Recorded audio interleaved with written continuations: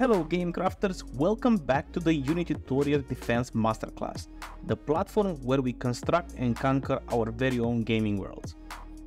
In our first episode, we set up the movement for our enemies. In episode 2, we're adding another layer of thrill. We're spawning our enemy, escalating the challenge to a whole new level. Ready to crank it up a notch? Let's dive in and populate our battlefield. Okay, so let's start by adding an empty game object right click in the hierarchy panel, create empty, and let's call that spawner. Spawner, great. Uh, now we need to position the spawner uh, at the beginning of the path. So for me, it's 0, 0 0.5, and I think 2.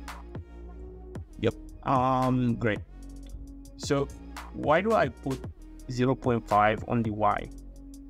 my actual enemy that I want to use is a ship.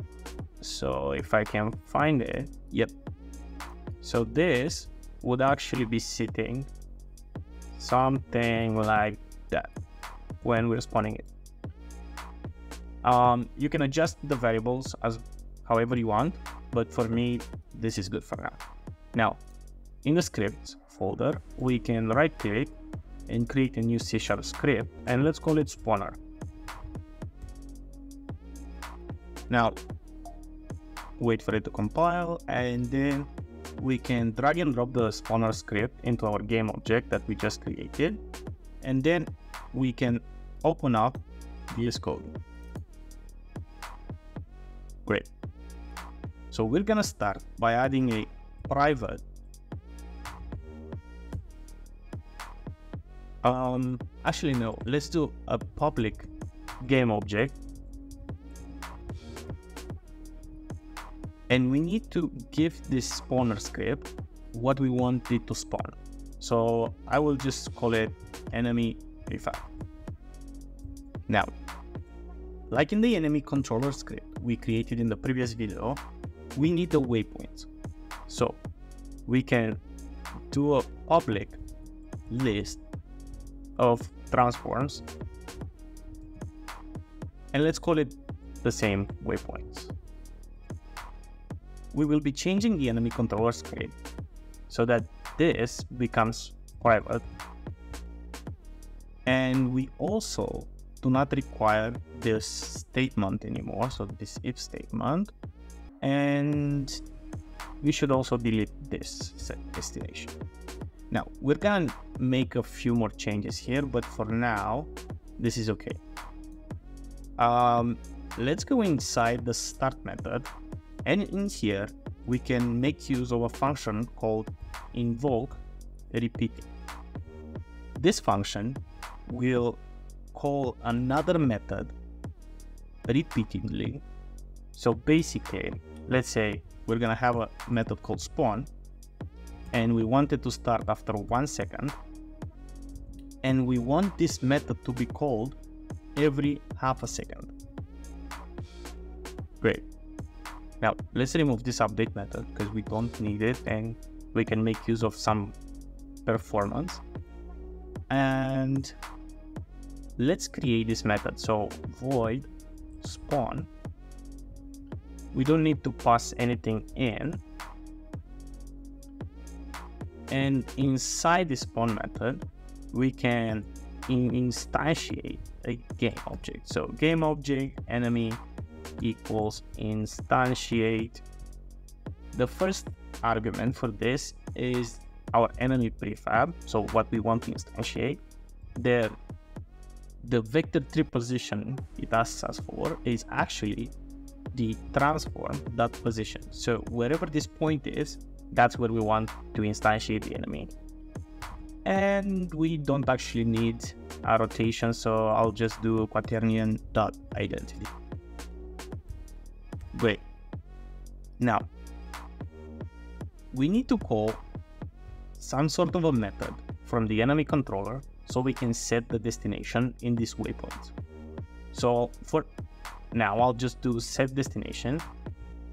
Actually, no, because this is a game object so we need to first call get component and we need to get the enemy controller and then we can actually call a method from the enemy controller, but we haven't created it yet. So let's just call it set destination here and actually pass in the waypoints. Now, back in the enemy controller script, we can create this method. So we need a method um, which is public, uh, set destination, and it has to get a list of transforms. Let's call them also waypoints. Oh, I forgot to put the return type here, so it should be type void.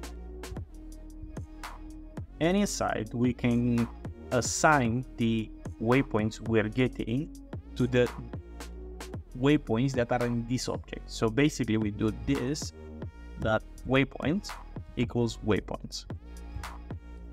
Now, let's not forget that we also need to know when to run this um, this logic here. So we can add another private uh, bool variable. So private bool, and let's call it um, waypoint set. Yeah waypoint set equals false.